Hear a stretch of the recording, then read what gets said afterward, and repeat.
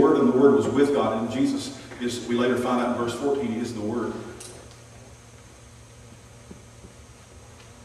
He says, In the beginning was the Word, and the Word was with God, and the Word was God. All things were made by Him, and without Him was not anything made that was made. In other words, when God is saying, Let there be light in Genesis, it's the Lord Jesus, He's speaking things. He's the Word of God that is bringing everything into being. But here is a time when He needed something from one of us when there was something that he didn't know or that he had just simply because he had never experienced it. Maybe he knew everything intellectual or everything mental that there was to know, everything academic that there was to know about death, but he had never died and he wanted to talk to someone who had died and came back and could tell about it. Because Jesus needed to be braced up. He needed to be shored up. He needed to be strengthened. He needed his battery charged. He was facing the most difficult time of his human life.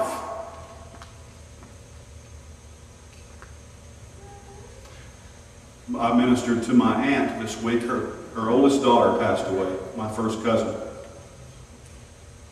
I couldn't go to her and say, hey, Peggy, I know just exactly what it's like to lose a child. And let me tell you how that is or what that is like. I, I couldn't tell her that. There was a time in my young ministry when I would go up and put my arm around someone and I would say, I understand, when I didn't.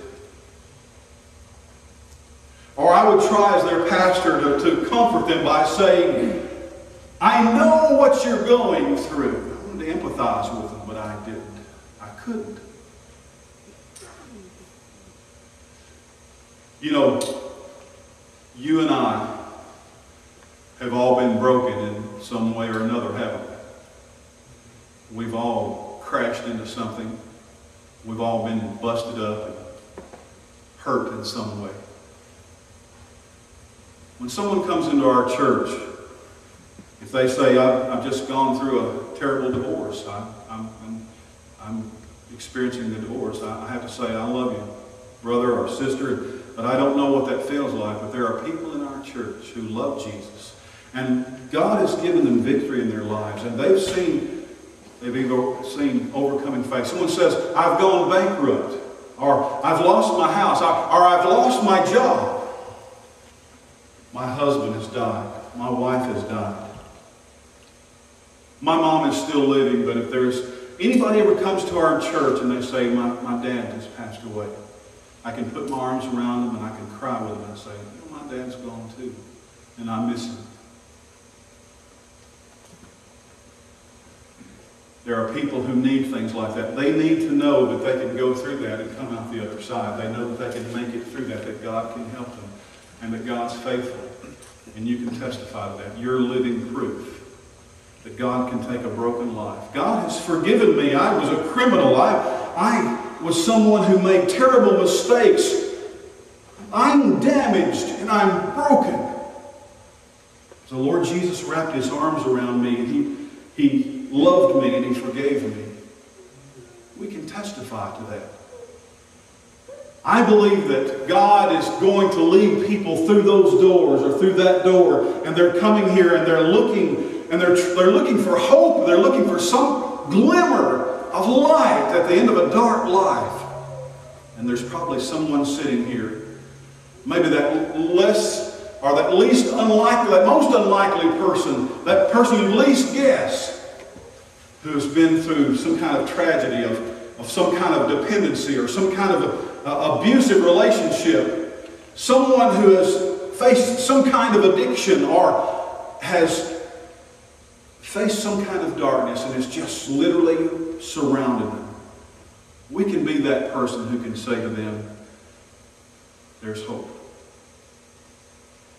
I have been to the other side, Lazarus could say, and here I am to tell you what it's like to die. He could tell Jesus about the fever or the aches or the sickness or the pain. He could tell Jesus about the fogginess of mind, the blurred vision, the times when he would lapse into unconsciousness, or the times when he would wrestle with everyone who loved him out of delirium. Lazarus could say, I've laden, I've sweated, and I've cried out to God, and I've been afraid, and I've been weak, and I knew that I was about to die. I can see the darkness coming. That's what it's like to die. That's what it's like to die. I believe Jesus got something he needed that night. I believe the reason he's, his last stop before going into Jerusalem was Bethany because the person who had the power to raise Lazarus from the dead had never experienced what Lazarus had. That's church. Church is not a religious obligation that you check the box and say, well, I went to church. Or God looks down and say, hmm, boy, he went to church today. It's a star. It's not an obligation or a responsibility. It's not even a ceremony or a ritual. I believe church is that place where you go. You know, I, I'd have to tell you that I have, probably at, my, at this time in my life, I have the richest, most personal, intimate walk with God that I ever have in my entire spiritual life. But I still never sense his presence more than when I'm with you. He's in you. I can see him. He's leaking out all over. Amen. He's shining from every broken spot in your life. He's shining out from every crack and crevice, from every wrinkle, and He's in you.